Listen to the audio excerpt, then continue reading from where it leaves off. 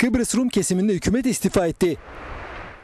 Hükümet sözcüsü Stefanos Stefano, Kıbrıs Rum yönetimi lideri Dimitris Ristofyas'ın kabine toplantısında istifaları talep ettiğini, bunun üzerine hükümetin istifasını sunduğunu söyledi.